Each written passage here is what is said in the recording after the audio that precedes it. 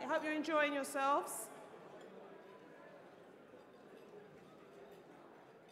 Okay, well, I'm about to announce the Businesswoman of the Year award.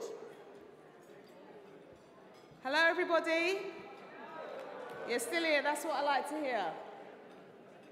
Okay, so in all seriousness, the Businesswoman of the Year award goes to Gulan Goban.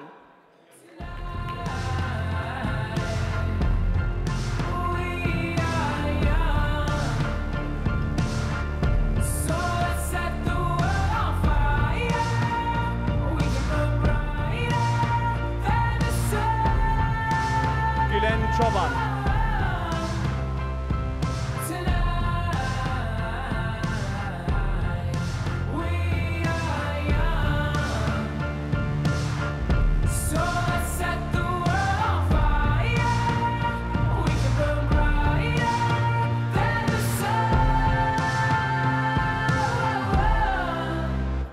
No, I know.